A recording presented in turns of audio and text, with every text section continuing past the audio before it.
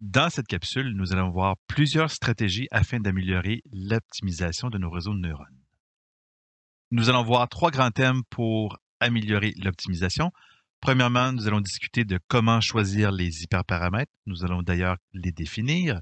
Ensuite, nous allons parler comment initialiser les paramètres de notre réseau, les poids, les billets. Et finalement, nous allons aussi discuter de normalisation. Alors, qu'est-ce qu'un hyperparamètre? Les hyperparamètres vont être des valeurs qui vont venir régir le processus d'apprentissage. Par exemple, ça peut être les hyperparamètres du modèle en tant que tel. Ces hyperparamètres vont, par exemple, déterminer la taille d'un réseau de neurones, le nombre de couches cachées, la fonction d'activation, et ainsi de suite. Une autre classe d'hyperparamètres concerne les algorithmes d'optimisation. Par exemple, le taux d'apprentissage qu'on va utiliser pour faire l'optimisation. Par opposition, vous avez les paramètres du modèle qui, eux, sont modifiés directement par l'algorithme d'optimisation lorsqu'on fait l'apprentissage essentiellement. Alors, ces paramètres vont être les poids et les biais du réseau, par exemple. Lorsque je parle du θ, bien, ce sont les paramètres du modèle. Alors, c'est important de bien voir que ces paramètres-là vont être impactés directement par les données. On va faire notre euh, forward pass, on va calculer des gradients et après ça, on va venir corriger les poids du réseau. Donc, ce sont les paramètres du modèle. Quand on parle des hyperparamètres, ça va être des paramètres qui vont être impactés indirectement par les données. En effet, l'architecture qu'on utilise va dépendre des données, mais c'est indirect. C'est un choix qu'on fait, si vous voulez, avant même de voir les données d'entraînement. Pour le premier thème du choix des hyperparamètres, nous allons voir trois façons de faire. Le premier, c'est d'établir des horaires d'entraînement où on va changer la valeur des hyperparamètres au fil des époques. La deuxième technique, c'est une recherche en grille. Et la troisième technique est une recherche aléatoire qui est une, si vous voulez, une recherche en grille, mais disons un peu plus, euh, plus intelligente. Commençons maintenant par l'horaire d'entraînement. Donc, le principe derrière l'horaire d'entraînement, c'est d'établir à l'avance un horaire indiquant la valeur des hyperparamètres en fonction de l'époque. Une époque, c'est quoi? C'est lorsqu'on a fait un tour complet sur nos données d'entraînement. Par exemple, si j'ai un million d'images de mon jeu de données d'entraînement, ben, ça veut dire que j'ai passé un million d'images en forward pass et j'ai fait des backward pass avec l'algorithme de backprop pour faire des modifications des différents poids de mon réseau. Bien entendu, ça ne veut pas dire que j'ai fait euh, un million de batchs. Si j'ai 1000 images par batch, ça veut dire que j'ai fait 1000 batchs de 1000 images pour passer mon jeu de données de 1 million. Donc, c'est ça une époque. Pour les horaires d'entraînement, c'est surtout utilisé pour définir les taux d'apprentissage epsilon t. On l'a vu dans les algorithmes d'apprentissage, les algorithmes d'optimisation, c'est un des paramètres les plus importants et l'optimiseur va être très sensible à cette valeur-là. Et c'est pour ça qu'il faut la changer au fil du temps. Au début, on va prendre une valeur qui est relativement grande pour explorer. Et au fil des époques, on va diminuer l'epsilon de sorte à vouloir forcer l'optimiseur à plutôt se consacrer à explorer localement des solutions qui deviennent idéalement de mieux en mieux. Euh, j'aimerais vous dire que c'est quelque chose qu'on peut facilement calculer à l'avance quel devrait être l'horaire optimal pour certains hyperparamètres. Malheureusement, c'est plus un art qu'une science. Donc, il faut faire beaucoup d'essais et d'erreurs afin d'établir cet horaire d'entraînement. C'est un peu si vous voulez, la recette, lorsqu'on fait cuisiner des, plats au four, on met des températures à différents moments, ben, c'est un peu le même principe ici. Il va falloir faire beaucoup d'expérimentation. Euh, ou un pâtissier devient bon lorsqu'il a fait beaucoup de pâtisserie, eh bien, c'est la même chose. Vous allez devenir très bon à cuisiner vos réseaux à force d'en cuisiner. Vous avez ici un exemple d'horaire d'entraînement pour un problème particulier. Donc, on voit qu'on a choisi d'avoir 200 époques pour l'entraînement de notre réseau. La taille de la mini-batch, qui est elle-même un hyperparamètre, a été choisie à 32. Ensuite, on a choisi un algorithme d'optimisation qui s'appelle SGD Nesterov avec le facteur d'oubli 0.9. Et en bas ici, vous voyez ce fameux horaire d'entraînement. Donc, on a deux hyperparamètres qu'on a choisi de faire varier au fil du, des époques. Donc, vous voyez ici le taux d'apprentissage, l'epsilon t. Donc, vous voyez à l'époque 0, lorsqu'on démarre l'entraînement, on a une valeur qui est relativement élevée de 0.1. Et au fil des époques, vous voyez, l'époque 75, on demande à l'optimiseur d'utiliser un taux d'apprentissage de 0.01, ici un, millième et ici un dix millième. Aussi, un autre hyperparamètre qu'on appelle le weight decay, qu'on va voir plus en détail la semaine prochaine. On voit ici alors là qu'on le fait changer aussi au fil du temps. Comment est-ce qu'on va manuellement établir cet horaire d'entraînement? Il va falloir observer les courbes de la perte empirique en fonction des époques. Et lorsqu'on va apercevoir notre perte empirique atteint un plateau. Il ne faut pas oublier, là, notre perte empirique, est bruitée. Donc, il faut comme lisser manuellement ces, euh, courbes-là. Parfois, on peut même les lisser automatiquement avec des utilitaires comme les, les TensorBoard. Euh, alors, on va donc détecter qu'on a un plateau manuellement et on va dire, bon, à cette époque-là, je vais réduire mon hyperparamètre. C'est ce qu'on voit lorsque, par exemple, le learning rate est trop grand, on n'arrive pas à descendre dans le creux des petites, euh, des petites vallées pour baisser la valeur de notre perte. Donc, euh, c'est à ce moment-là qu'on décide de faire baisser notre learning rate. Ce qu'on va voir, c'est que les valeurs qui vont être attribuées à notre, euh, notre learning rate vont avoir une courbe en forme d'escalier, puisqu'à à partir d'une certaine époque, on va avoir une valeur stable d'un hyperparamètre. Après une époque, on va le faire chuter, par exemple, d'un facteur 10 pendant un certain temps. Donc, ça va être stable, ça va être le haut de la marche, si vous voulez, et vous avez le dos de la marche lorsqu'on fait le changement abrupt de la valeur de l'hyperparamètre à des époques qui vont être prédéterminées par nous avec des expérimentations. Notre méthode de génération de ces horaires d'entraînement-là, on commence par définir la valeur initiale de l'hyperparamètre. Ensuite, on va déterminer quel va, être, le taux de décroissance bêta à appliquer à certaines époques très précises. Et on va trouver ces endroits où faire cette euh, décroissance-là abrupte en observant la courbe, comme je disais, à l'aide des plateaux qu'on va voir apparaître dans la courbe des risques empiriques. Une première stratégie pour voir comment établir cet horaire d'apprentissage est la suivante. Premièrement, il faut choisir notre valeur initiale du learning rate, epsilon 0. Et ici, on doit faire quelques tests. On voudrait idéalement l'avoir la plus grande possible pour forcer l'algorithme d'optimisation à bien explorer le profil de notre fonction objective, qui, je le répète toujours, est notre risque empirique, J. Et si notre valeur est trop grande pour le learning rate initial, ce qu'on va voir apparaître, c'est des grandes oscillations dans la valeur de cette fonction objective qui peut même mener à des divergences qui vont finir par mener à des problèmes de stabilité numérique ou des erreurs numériques de type NaN qui sont not a number ou INF pour infinite. À l'inverse, si la valeur initiale est trop petite, ce qui va arriver, c'est que notre courbe va descendre trop lentement et on ne va pas réussir à bien converger. Pourquoi? On va, comme indiqué l'optimiseur, de, de mettre l'accent sur de l'exploration très proche de notre point de départ. On va descendre des petites vallées qui sont proches de notre point de départ au niveau de la valeur des poids. Et ça se peut qu'une bonne solution se trouve plus loin on, ne réussira pas à l'atteindre parce que les pas qu'on fait sont trop petits. Hein. Si vous voulez, si je reprends l'analogie de l'exploration à la montagne, on va se cantonner à la première petite cuvette qu'on voit au lieu de dire je vais passer outre la cuvette, je fais des grands pas pour trouver le fond de la vallée dans mon beau paysage suisse. Donc, au final, ce qu'on veut pour epsilon 0, c'est prendre la plus grande valeur possible sans créer de divergence au niveau de notre fonction objective J.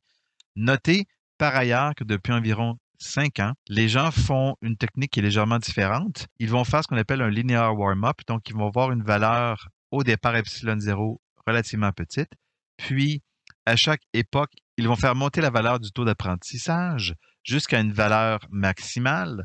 Cette valeur maximale-là va correspondre à, à l'epsilon 0 qu'on établit ici, c'est-à-dire une valeur qui est très grande, mais qui ne va pas faire diverger le processus d'optimisation. Par la suite, ils vont, établir l'horaire du taux d'apprentissage, comme on va le voir par la suite. Et pourquoi est-ce qu'on fait linear warm-up? C'est parce qu'au début, la valeur des poids lorsqu'on a initialisé un réseau au hasard, ben, les gradients vont être relativement grands. Les erreurs sont très grandes à la sortie puisque essentiellement le réseau fait des prédictions qui sont au hasard. Donc, les gradients sont très violents. Et donc, ça ne donne rien d'appliquer un learning rate qui est grand à ce moment-là. C'est pas des bonnes valeurs de gradients il faut attendre que notre réseau, si vous voulez, se réchauffe un peu, d'où le terme warm-up, à l'aide de quelques mises à jour faites avec les gradients. Et au fur et à mesure que notre réseau s'améliore, on va donc augmenter ce learning rate. Comme je vous dis, ça, c'est une technique qui est plus récente maintenant, le linear warm-up. Nonobstant ça, le reste de l'heure de d'entraînement va suivre ce que je vais présenter dans les prochaines diapositives un des éléments importants de la stratégie du choix de l'horaire du taux d'apprentissage va être le taux de décroissance qu'on applique à certains moments, à certaines époques, lorsqu'on atteint un plateau. C'est établi par le paramètre bêta. Et lorsqu'on fait cette mise à jour du, du taux d'apprentissage, on va prendre le taux d'apprentissage actuel et le multiplier par le facteur bêta. Ça va donc représenter en quelque sorte l'agressivité à laquelle on veut que notre réseau converge, pas nécessairement à converger au meilleur endroit possible. On veut juste qu'il converge à un endroit. Cette convergence va se faire d'autant plus rapidement lorsque bêta va tendre vers zéro et la convergence va être d'autant plus lente quand bêta va se rapprocher de 1. Les valeurs qui sont suggérées dans la littérature, on a des valeurs de bêta de 0.1, 0.2 et de 0.5. Personnellement, je préfère utiliser des valeurs comme 0.2 et 0.1, donc on fait des changements très agressifs au niveau du learning rate, le taux d'apprentissage. Le choix des époques de mise à jour du learning rate va se faire selon l'observation de la courbe du risque empirique. Donc, imaginez qu'on identifie un endroit TE qui correspond à un endroit où on considère qu'on a atteint un plateau, donc une certaine convergence, si vous voulez.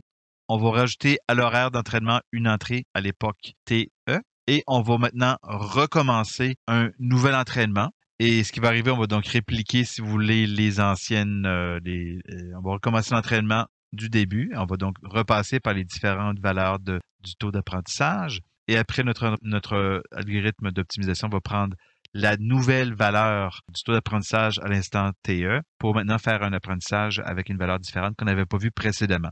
On va finalement arrêter l'entraînement lorsqu'on se rend compte que la mise à jour du learning rate n'arrive plus à faire baisser la perte empirique. Donc, on voit que si je diminue encore d'un facteur 10 ou 50 mon learning rate, on voit que notre plateau se poursuit. Donc, on a essentiellement convergé vers la meilleure des, valeurs de paramètres pour notre problème actuel, nos données actuelles. Donc, faisons ensemble ici un exemple d'élaboration d'un horaire pour le learning rate. On commence par essayer une valeur, par exemple, de 10, ce qui est très élevé en passant, pour notre learning rate, et on se rend compte que rapidement, on obtient des not number dans les poids de nos réseaux. On essaie 1, encore là, on obtient des instabilités numériques, et on essaye 0.1 comme valeur initiale, et voilà, bingo, on réussit à s'entraîner. Donc, on a choisi notre valeur initiale. Et aussi, on va établir que notre taux de décroissance est de 0.1. Je le répète, c'est une valeur qui est très commune d'utiliser un taux de décroissance de 0.1 lorsqu'on fait une mise à jour du taux d'apprentissage. Maintenant, on va commencer un entraînement avec notre horaire suivant. Donc, on va dire que ben, à l'époque 0, on choisit tel taux d'apprentissage et il n'y a pas d'autres modifications. Donc, c'est notre premier essai qu'on fait. On va faire un entraînement avec ce paramètre-là. Alors, pour cet exemple, on obtient cette première courbe d'apprentissage. On voit ici donc la perte, le risque empirique J. On appelle aussi souvent ces courbes les, euh, loss curves, les, les, courbes de perte. Et on voit donc, on a commencé avec une perte relativement élevée au début, c'est normal, notre système est avec des, avec des valeurs aléatoires. On voit une descente, ici qui est proche d'une descente exponentielle. Et notez comment ici, maintenant, on se met aussi autour de valeurs proches de 1.5 comme, euh, comme perte euh, moyenne on pourrait établir que j'ai atteint un plateau ici. Les oscillations, c'est dû essentiellement parce qu'on a un processus aléatoire lorsqu'on fait notre entraînement, donc c'est normal qu'on ait des oscillations. On pourrait établir que notre convergence, donc autour de l'époque 75, donc ici, vous voyez, on a un petit peu, si, on lisse la courbe, on se rend compte que la convergence commencerait possiblement autour de 75. Donc, on vient établir manuellement 75 comme époque à laquelle on devrait faire un ajustement du learning rate. On a donc inclus 75 dans notre table ici. Vous voyez, j'avais choisi un facteur bêta de 0.1, donc j'ai pris le point ici que je multiplie par 0.1. Ça donne donc 0.01. Donc, on recommence un entraînement. Et là, vous voyez, on repart au début un réseau initialisé au hasard. Donc, vous voyez ici notre première décroissance exponentielle, notre premier plateau. Et là, automatiquement, l'optimiseur, lorsqu'il se rend compte qu'il est rendu à l'époque 75, ce qu'il va faire, c'est qu'il va maintenant prendre cette valeur-ci comme taux d'apprentissage et noter maintenant cette deuxième décroissance exponentielle. Donc, c'est le genre de comportement que vous allez voir dans vos courbes d'entraînement. Euh, notez aussi comment elle est beaucoup plus lisse. Pourquoi est-elle plus lisse?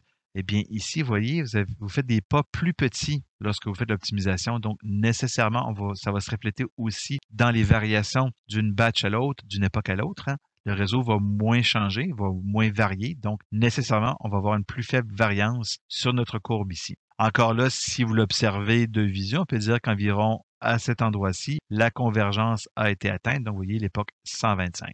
Donc, ce serait la prochaine entrée de notre table de notre horaire d'entraînement. Vous la voyez d'ailleurs ici, cette entrée. Encore là, on a pris la valeur précédente qu'on a multipliée par 0.1, qui nous donne donc maintenant un millième. On recommence l'entraînement. Donc, on repart d'ici, vous voyez, zoup, notre première courbe. À 75, on change le learning rate pour 0.01. Zoup, deuxième courbe ici, deuxième convergence. Et à 125, automatiquement, l'optimiseur euh, choisit le nouveau learning rate. Et on voit ici notre troisième décroissance exponentielle. Encore là, notez comment la courbe ici, elle est beaucoup plus lisse parce que j'utilise justement un learning rate qui est plus petit. On pourrait encore là estimer que notre réseau a convergé autour de l'époque 175. On va donc rajouter une autre entrée à notre horaire d'entraînement dernière entrée à notre table ici. Pourquoi je dis dernière entrée? Parce que lorsque vous faites l'entraînement, on voit ici notre première décroissance, notre deuxième, notre troisième. Et notez ici, on n'en voit pas une quatrième décroissance. Ici, on voit que le plateau s'est poursuivi malgré le fait qu'on ait changé de learning rate. Donc, c'est un indicateur que l'entraînement du réseau a convergé. Notre horaire d'entraînement a maintenant été établi et on peut partir relativement confiant que si on utilise cette euh, recette pour cuisiner notre réseau, eh bien, on devrait avoir des résultats qui sont le meilleur qu'on peut obtenir pour cette situation. Une autre stratégie pour établir l'horaire d'entraînement pour les valeurs du learning rate, ça va de changer cet hyperparamètre à chaque époque. On obtiendra des courbes de perte, des courbes de, de la fonction objective J qui n'auront pas de plateau. Encore là, on va commencer par définir une valeur initiale pour notre learning rate. On va ensuite définir un taux de décroissance. Et ensuite, on va définir une règle de décroissance qui va exploiter cette valeur de bêta. Par exemple, on pourrait commencer avec un taux d'apprentissage de epsilon 0. Encore là, on va prendre une valeur qui est la plus grande, qui ne fait pas diverger le processus d'optimisation. Et ensuite, il va falloir établir un taux de décroissance qui va dépendre du problème lui-même, donc des données. Et finalement, on va établir une règle de décroissance qui va être appliquée à chaque époque. Vous avez ici deux règles de décroissance possibles. Vous avez epsilon t ici qui est simplement de prendre la valeur initiale et de faire 1 plus bêta fois le numéro de l'époque à laquelle on est rendu lors de l'entraînement ou de faire une décroissance qui est vraiment exponentielle, donc de prendre epsilon 0, de le multiplier par euh, EXP de notre euh, époque actuelle fois la valeur de bêta avec un signe moins ici. Donc, c'est une décroissance exponentielle. Lorsque vous êtes à l'époque 0 ici, le terme ici va être euh, égal à 0. L'exposant de 0, ça va être 1. Donc, la première itération, ça va donc être la valeur de epsilon 0. Et après ça, c'est une décroissance exponentielle en bonne et due forme de la valeur du taux d'apprentissage du learning rate epsilon t. On obtient alors des courbes qui sont comme les suivantes. Vous voyez ici à gauche la courbe du learning rate en fonction de l'époque. C'est une courbe qui est lisse. ici, ce n'est pas une courbe qui sort de notre réseau, donc ce n'est pas une courbe qui est bruitée.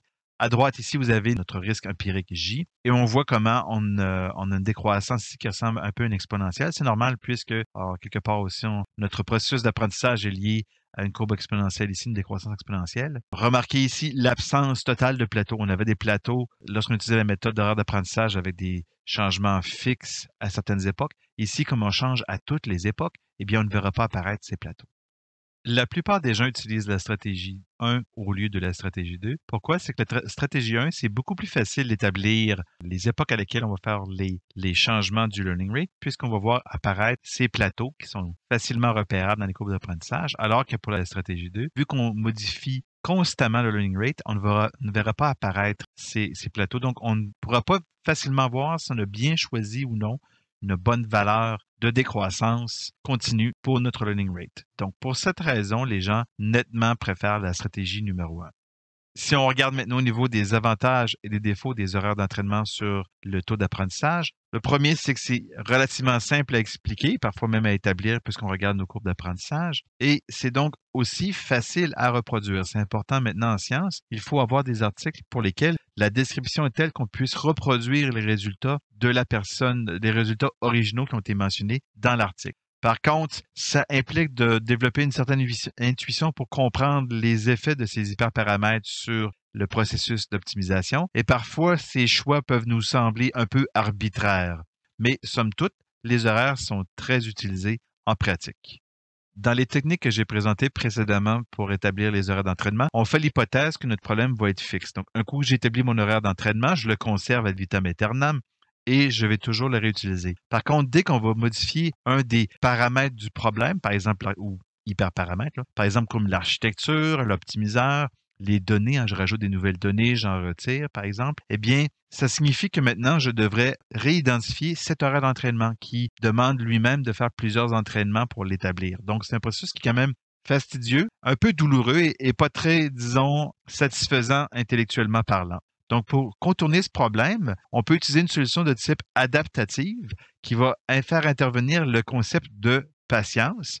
Donc, vous avez ici, par exemple, dans la librairie Torch pour les optimisations, vous avez, euh, on voit ici donc Torch Optim LR Scheduler, donc Learning Rate Scheduler. Donc, la méthode qui va être utilisée pour être capable de modifier le learning rate, le taux d'apprentissage au fil des époques. Une fonction qui s'appelle Reduce Learning Rate on Plateau. Et ce que ça fait ici, ça va automatiquement détecter la présence d'un plateau dans les courbes de validation, par exemple. Et lorsqu'on trouve un plateau, cette fonction-là va automatiquement modifier le learning rate, l'abaisser d'un facteur que vous avez choisi vous-même. Et le terme patience est un, des paramètres de cette fonction-là. C'est essentiellement le nombre d'époques pour lequel il n'y a pas d'amélioration notable pour notre fonction objective. Donc, la perte essentiellement est aussi autour d'une certaine valeur, mais sans vraiment baisser. Lorsqu'on notre, euh, notre algorithme d'optimisation détecte qu'on a atteint ce plateau-là pour un nombre d'époques qui est la patience, eh bien, comme je le disais, automatiquement, l'optimiseur va baisser le taux de le taux d'apprentissage. Donc, c'est très pratique parce que ici, je n'ai pas besoin moi-même de trouver l'horaire d'entraînement. Si je modifie l'architecture, j'ai pas besoin de le réétablir. Le défaut, par contre, ici, c'est qu'il y a des hyperparamètres, bien entendu, à cette fonction reduce LR on plateau. Par exemple, la patience, quelle est la valeur, la valeur de tolérance sur la, la baisse, et ainsi de suite. Donc, on doit faire quelques essais pour identifier ces hyperparamètres. Mais lorsqu'on les a bien identifiés, après ça, ben, on peut, je vous dirais, avec une certaine confiance, ne plus avoir besoin de revisiter ce problème-là d'établir l'horaire d'entraînement. D'autres hyperparamètres doivent rester constants pour la durée complète de l'entraînement. Par exemple, le nombre de neurones, la probabilité de dropout, qui est une façon de réduire l'erreur de généralisation en éteignant aléatoirement certains neurones, la dimension des filtres convolution pour les réseaux CNN qu'on va voir dans le module 5, aussi la dimension des plongements, ce qu'on appelle les embeddings, qui sont très utilisés pour le traitement du langage naturel.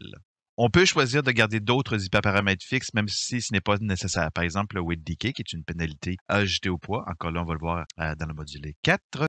D'autres hyperparamètres peuvent être conservés fixes, même si on pourrait les modifier. Par exemple, le weight decay, qu'on va voir à la, semaine 4, la semaine prochaine. Le taux d'apprentissage aussi, on l'a vu, euh, on peut le, on pourrait le garder fixe en théorie. En pratique, ça fonctionne pas très bien si on le garde fixe. Donc, c'est d'autres hyperparamètres. Alors ici, comme on se concentre sur les paramètres qui vont rester fixes, on doit trouver un paramètre qui fonctionne quand même relativement bien, donc une valeur qui va être proche de l'optimal. On ne va jamais trouver l'optimalité dans, ces systèmes-là. C'est des problèmes d'optimisation qui sont trop complexes. Donc, quelle stratégie peut-on employer pour trouver les valeurs des hyperparamètres qui doivent rester fixes?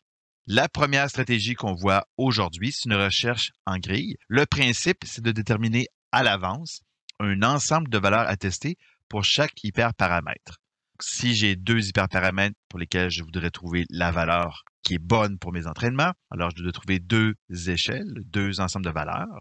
Et généralement, on va travailler avec des échelles logarithmiques. Vous avez ici un exemple d'échelle logarithmique. Donc, vous voyez un centième, deux centièmes, cinq centièmes, un dixième, deux dixièmes, cinq dixièmes et un.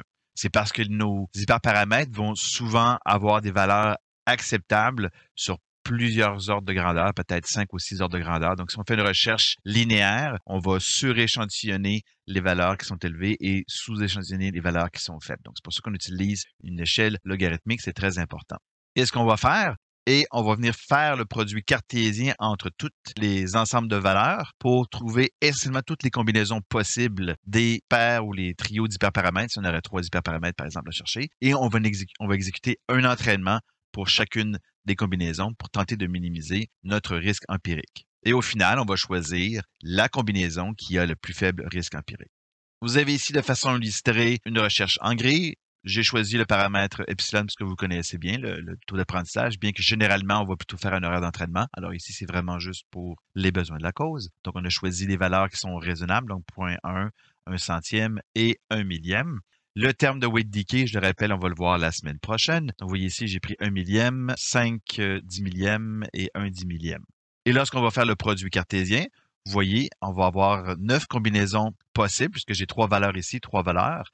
Et on voit donc que ça représente, chaque point ici va représenter toutes les combinaisons possibles de choix d'hyperparamètre 1 et de choix d'hyperparamètre 2. Les valeurs ici, en vert et en jaune, s'indiquent la performance si vous voulez, de, notre d'un hyperparamètre si on l'avait choisi tout seul. idéalement, par exemple, si on chercherait à maximiser la performance, on aurait le sommet ici, mais dans ce cas-ci, on cherche en général à minimiser les choses. Donc, la, valeur, la meilleure valeur pour epsilon serait celle-ci. Et pour lambda, ben, on aurait des valeurs ici, par exemple. Idéalement, lorsqu'on va faire de la recherche en grille, on doit profiter de la connaissance d'un expert qui va venir nous dire voici les fourchettes de valeurs qui fonctionnent bien. Donc, on peut déjà commencer à réduire le temps de recherche parce qu'un expert va nous injecter cette connaissance-là. On fait une recherche exhaustive, force brute. Donc, on ne va pas laisser certaines combinaisons inexplorées et c'est facilement parallélisable. Chaque combinaison d'hyperparamètres, je peux en théorie la faire tourner sur une carte graphique séparément des autres. Par contre, il y a des inconvénients. C'est une demande computationnelle relativement élevée. N'oubliez pas, pour chaque combinaison, je dois faire un entraînement complet. Un entraînement peut prendre plusieurs heures,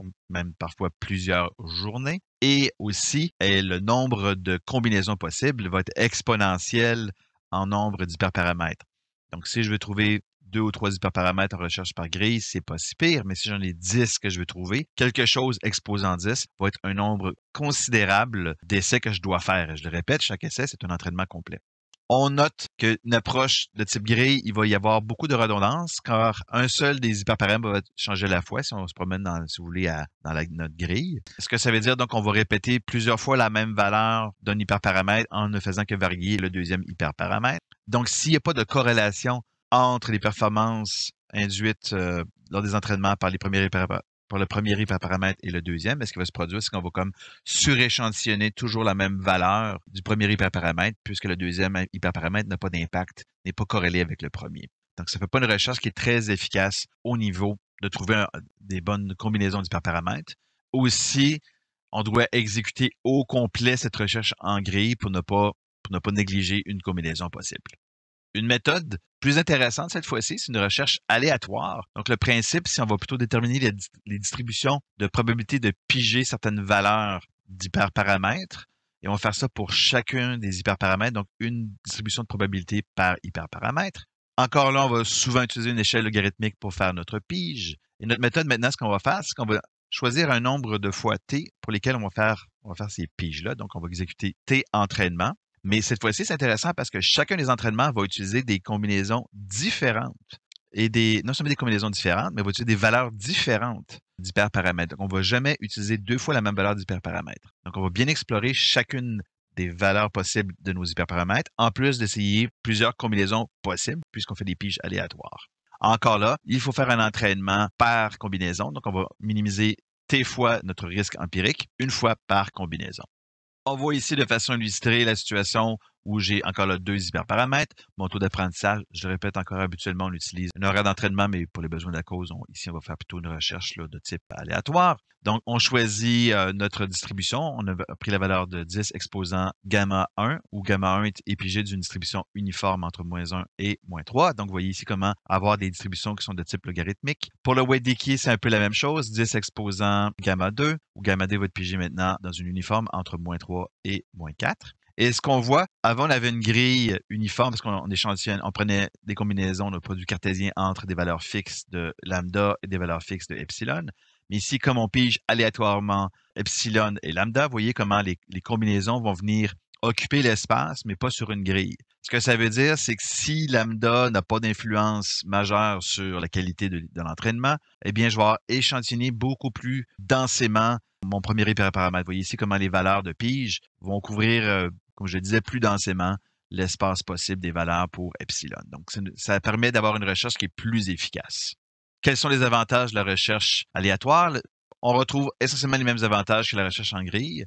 Un autre avantage, c'est qu'on a moins de redondance, car chaque hyperparamètre va être changé à chaque fois qu'on fait la pige. Ensuite, c'est un algorithme de type Anytime, qui est une classe d'algorithmes que je vous dirais que j'affectionne particulièrement. L'idée des algorithmes anytime, c'est on peut les arrêter n'importe quand, ils vont nous retourner des valeurs. Alors ici, si je décide de faire 75 piges, donc 75 entraînements, ben après 75, je peux arrêter. Mais s'il me reste du temps de calcul, je pourrais laisser l'algorithme de recherche d'hyperparamètres continuer. Je pourrais aller à 100, 200, 300 piges. Alors que la recherche en grille, un coup que j'ai exploré toutes les cases de ma grille, ben c'est fini, je dois arrêter. Les algorithmes Anytime, une propriété que je trouve vraiment intéressante, c'est essentiellement plus je laisse tourner longtemps, eh bien, meilleur sera le résultat à la fin. Alors, c'est essentiellement ce qu'on fait, c'est qu'on va fixer un budget de calcul. Par exemple, j'ai une semaine pour faire ma recherche d'hyperparamètres, puis je vais laisser l'algorithme rouler pendant une semaine. Et après une semaine, voilà, je vais prendre simplement la meilleure combinaison trouvée par l'algorithme. Les inconvénients, une demande computationnelle élevée comme on avait vu pour la recherche en gris, parce qu'on doit faire quand même beaucoup d'entraînement. Et je le répète, un entraînement, ça peut être très, très long. Donc, c'est une question de semaines. Des, fois, quand on, parle des grosses compagnies comme Facebook et Google, eux autres, parfois, ils vont passer plusieurs années GPU à faire de la recherche d'hyperparamètres pour obtenir de meilleurs résultats. Autre désavantage, c'est comme on fait des piges aléatoires. Maintenant, lorsqu'on fait un article scientifique, en théorie, il faudrait spécifier quel est le random seed, la graine aléatoire qu'on utilise pour faire la pige, de sorte que les gens puissent reproduire exactement les mêmes piges. Dans la réalité, les, les gens ne fournissent généralement pas cette information. Donc, on va retrouver certaines divergences de résultats entre ce qu'un article a été publié et nous lorsqu'on veut le reproduire, simplement parce qu'on n'est pas capable exactement de reproduire la même recherche d'hyperparamètres. Ce qu'on peut faire, c'est prendre les hyperparamètres qui ont été identifiés par l'article et les réutiliser. Donc, on viendrait complètement contourner le problème de la recherche d'hyperparamètres, mais il se peut que ce ne soit pas les meilleurs hyperparamètres au final pour ce type d'architecture. Donc, c'est quelque chose qu'on voit parfois arriver. Une petite université va produire un papier avec des résultats qui sont très bons. Et là, Facebook, Google, Microsoft arrivent, reprennent la même architecture, font une recherche beaucoup plus approfondie d'hyperparamètres et vont venir chercher 2, 3, 4% de plus de performance simplement parce qu'ils ont réussi à trouver une meilleure combinaison d'hyperparamètres grâce à leur, à leur mère de GPU qui sont disponibles. Pour la recherche d'hyperparamètres sur population, veuillez voir la prochaine capsule.